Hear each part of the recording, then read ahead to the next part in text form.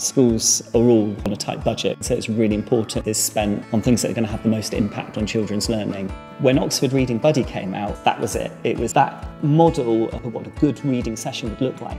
These children's reading has gone from here to here. When I first introduced Oxford Reading Buddy, they were all very excited about which buddy they were going to choose. Panda, yeah. definitely Panda. He becomes their guide to the book. It gives them a deeper understanding of things that they're reading. They've almost got an online teacher.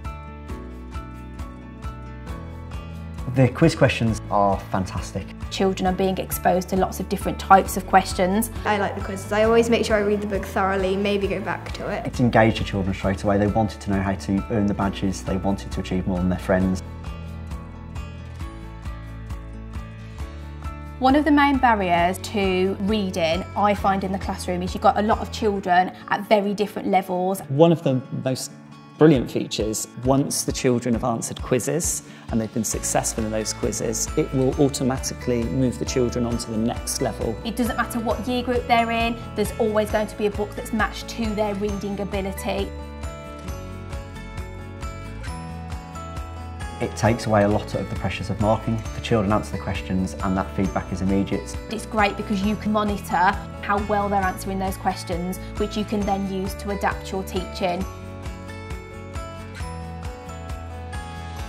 You know when you, you pick up an Oxford book that they're really good quality. The children love them. There's such a wide range. There's fiction, there's non-fiction. There's a book that every child will find that they enjoy. Every single book I've read on there has been great. I know through Oxford Reading Buddy that the children at home are getting the same quality of education through the books, through the questioning, which in the past has not been possible. The children love it. Uh, the children want to use it. They found that love for reading again. And it's really lovely that they've got this little smile on their faces and they really want to do it. This is a child wanting to read. I really, really have enjoyed it. Yeah, me too.